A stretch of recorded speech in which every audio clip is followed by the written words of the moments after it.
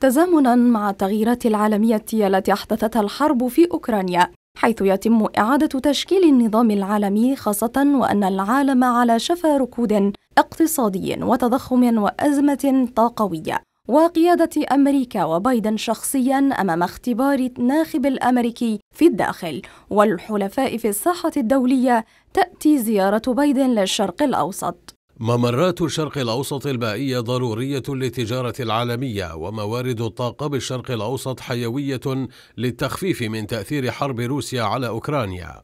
بايدن أكد مدى حاجة بلاده لحلفاء الشرق الأوسط والخليج خاصة السعودية التي اعتبرها شريكا استراتيجيا تقليديا مبينا أنه ساعدها على استعادة الوحدة بين دول مجلس التعاون الخليجي.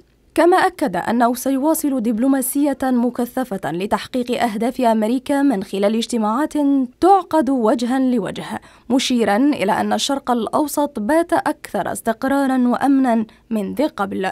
وفيما يخص الوضع في سوريا والعراق جدد الرئيس الأمريكي تأكيده على أهمية الحفاظ على التحالف الدولي القائم ضد تنظيم داعش الإرهابي لافتا إلى أن القضاء على زعيم تنظيم هذه المنظمة الإرهابية في سوريا يظهر مدى قدرة الولايات المتحدة الأمريكية على مواجهة التهديدات الإرهابية.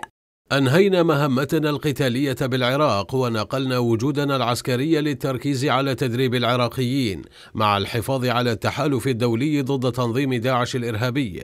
معدل الهجمات التي ترعاها إيران بالعراق انخفض مقارنة بما كان عليه الحال قبل عامين.